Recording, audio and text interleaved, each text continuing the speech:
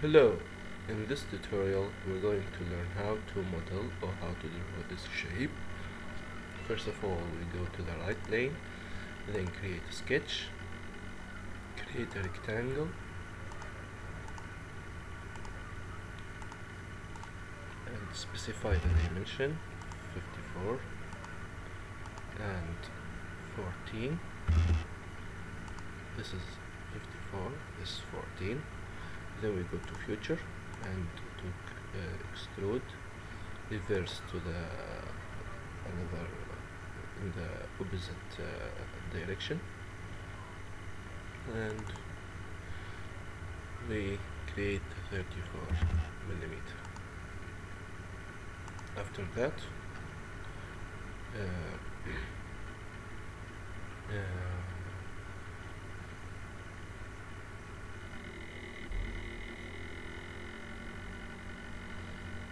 after that we go to this uh, face and create another sketch normal to and create uh, a circle.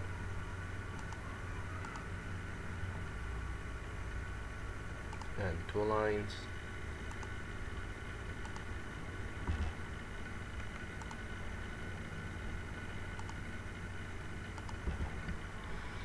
and we take this uh, circle and this line and the tangent and this line and the circle and another tangent.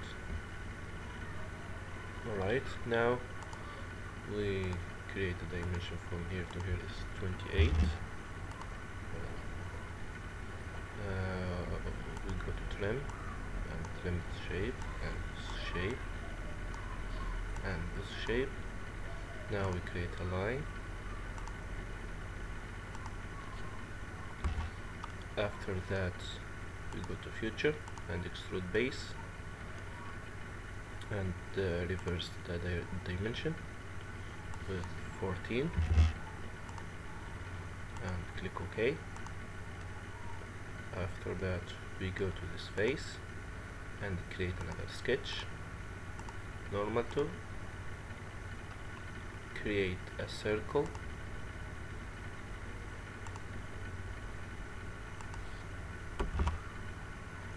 Uh, and trim this uh, sorry and create a line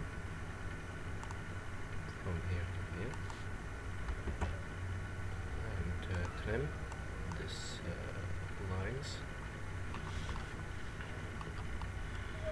Now we extrude this shape to the and reverse the dimension the direction. 14 that's okay. After that we go to this face and create another sketch normal to. We create a circle from the center of this uh, uh, uh, arc with 14 diameter this okay.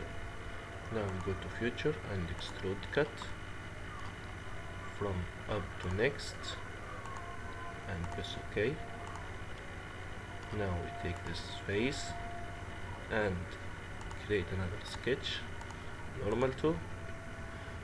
And we go to the straight slot. And create shape. And this dimension is 14 and we go and create a center line from the midpoint of this shape. And we take this line and this line and do collinear and uh, from this uh, circle to this point from this center and this point is 17 okay. And from this center and this center is 24 press ok now we go to feature. Extrude cut from up to next. And press ok so this is the shape. And now uh, let's create uh, a color to this shape.